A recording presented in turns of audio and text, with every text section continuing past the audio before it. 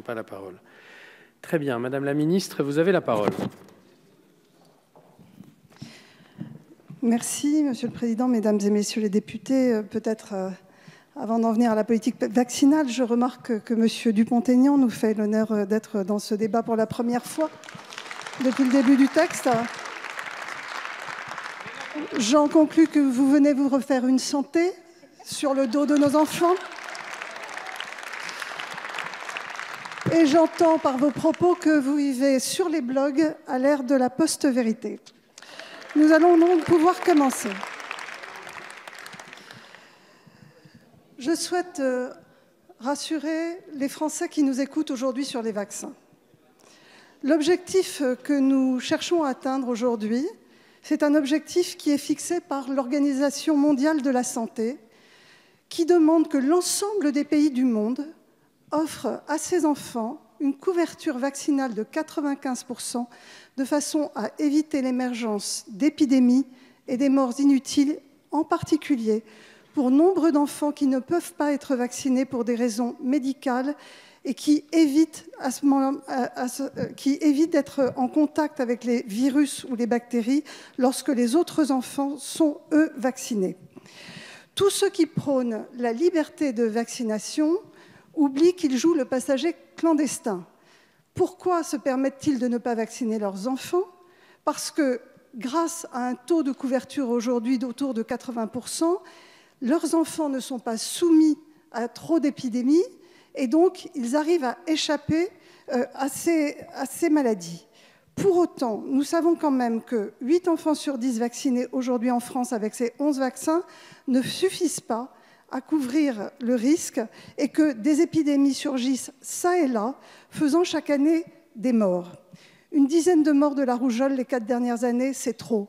Une cinquantaine de morts de méningite, des jeunes entre 15 et 25 ans, c'est trop. Et que dire de ces parents qui ont le choix aujourd'hui et qui comprennent que les vaccins recommandés sont des vaccins facultatifs Comment une famille choisit-elle de faire vacciner son enfant contre la méningite ou l'hémophilus? Qu'est-ce qui est le plus grave? Eh bien, c'est aussi grave. C'est aussi grave de mourir de la méningite que de mourir d'une septicémie. C'est aussi grave de mourir de la rougeole que de mourir d'une hépatite. Et donc, nous voulons dire à ces Français que non, recommander ne veut pas dire facultatif. Ça veut dire que ces vaccins sont nécessaires et qu'ils ne l'ont pas compris. Alors nous avons baissé la garde. Nous pensions que la vaccination était une évolution normale d'une société raisonnable et rationnelle. Nous avons eu le BCG obligatoire, la variole obligatoire, le DT polio obligatoire, puis quand les, nouveaux, quand les nouveaux vaccins sont arrivés, nous avons considéré que tout le monde comprenait l'intérêt et qu'il suffisait de les recommander. Eh bien non, non.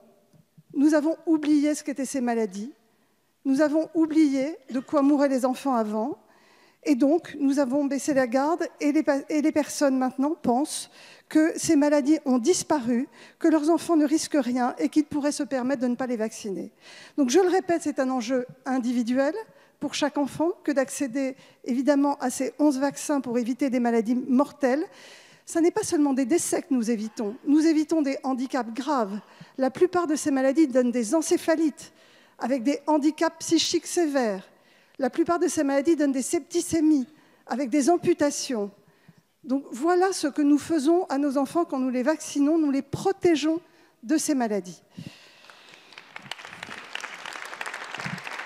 Alors vous dites, vous dites précipitation. Non, ça fait des années, ça fait des années que les sociétés savantes de pédiatrie, les médecins généralistes s'alarment du doute qui s'est emparé euh, de notre population sur les vaccins.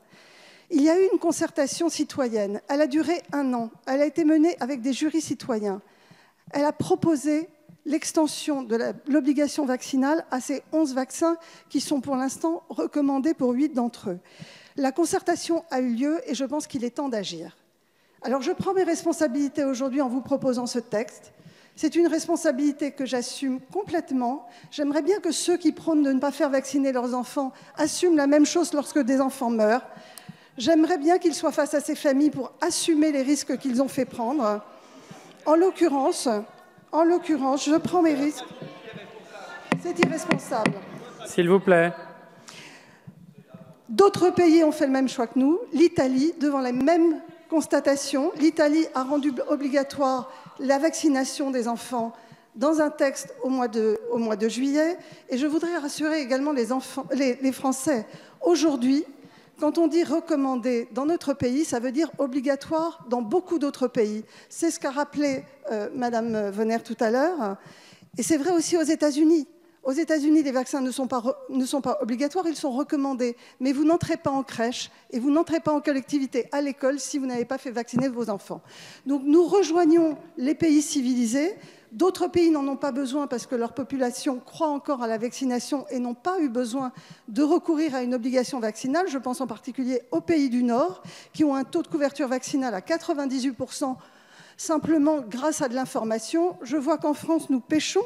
Alors nous héritons de cette situation. Nous héritons de 20 ans où nous n'avons pas communiqué sur ce magnifique médicament qui est le vaccin, qui est probablement le médicament qui a sauvé le plus de vies au monde.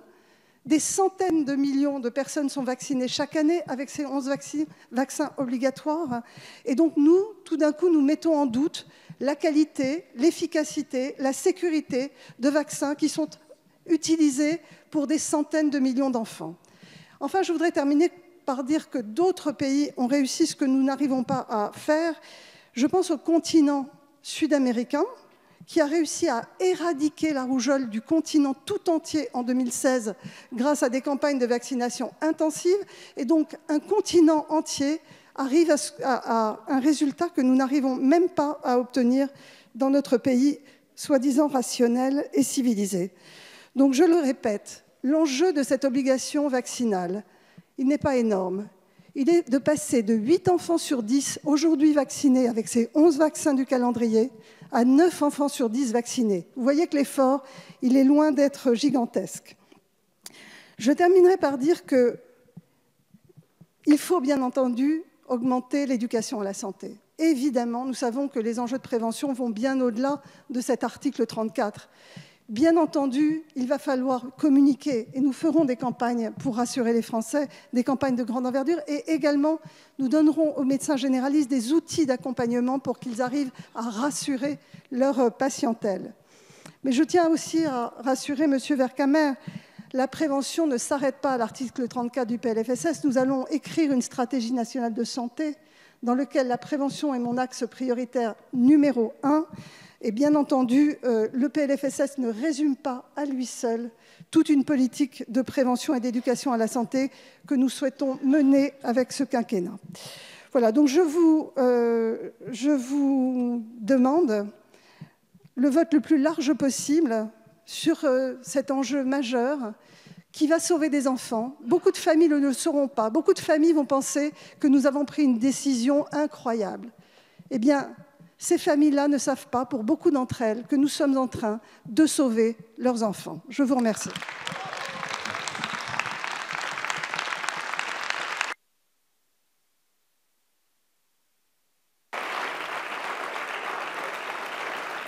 Je vous remercie, Madame la Ministre.